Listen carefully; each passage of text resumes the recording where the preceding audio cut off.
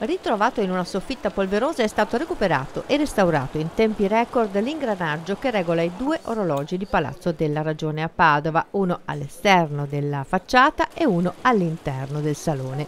L'antico tribunale cittadino, affrescato con il ciclo dello zodiaco, anche esternamente fu protagonista di una rivoluzione nella misurazione del tempo. Nel 1793 l'abate Bartolomeo Toffoli fece affiancare alla meridiana, sulla facciata, un orologio suddiviso in 12 ore per agevolare la popolazione dal sistema basato sul Sole e sulle stelle al nuovo sistema orario francese. È un mutamento culturale, tanto è vero che, che Toffoli, che è l'artefice di questo meccanismo, realizza all'esterno all'interno due orologi, uno solare e uno meccanico collegati a questo, eh, perché il popolo potesse capire che ora era, nel senso che non essendosi più regolata sul ciclo della natura, bisognava che l'ora francese, le ore che noi oggi utilizziamo, fossero comprensibili dal popolo. Tanto è vero che l'abate Toaldo, che è un grande studioso che al tempo regolò gli orologi, disse tutto questo cambiamento creerà grandi problemi al rozzo popolo. Sono passati secoli, ormai il rozzo popolo si è abituato a leggere le ore francesi.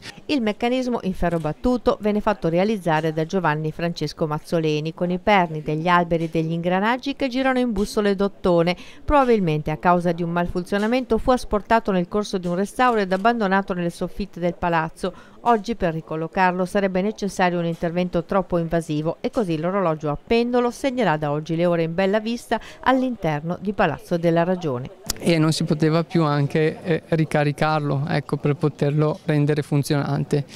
Questo nuovo sistema che potete vedere di ricarica dei pesi ecco, provvede proprio a rendere funzionante eh, ancora il meccanismo senza essere intervenuti in modo invasivo sulla parte antica. Anche il British Museum si sta interessando proprio di questo fenomeno del tempo proprio qui in Veneto. Eh sì, perché voi sapete che Padova con i dondi dell'orologio ha la grandissima tradizione. Padova e Chioggia hanno i primi orologi pubblici messi in una pubblica piazza con un sistema regolativo modulato ancora sull'ora italiana.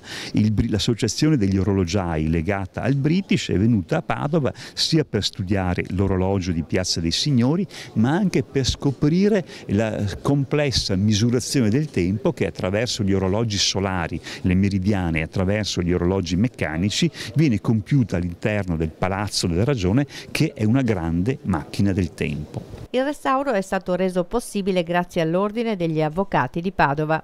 Ogni anno in primavera gli avvocati di Padova incontrano appunto la cittadinanza. Le prime edizioni si sono svolte proprio all'interno di questo splendido salone che è stata eh, la prima sede di amministrazione della giustizia che ancora oggi abbiamo come testimonianza storica in città e in questo progetto siamo stati coinvolti anche per la ristrutturazione di questo splendido macchinario del tempo che eh, è stato scoperto e ristrutturato e che ha voluto appunto essere per noi un segno di presenza concreta nella vita cittadina.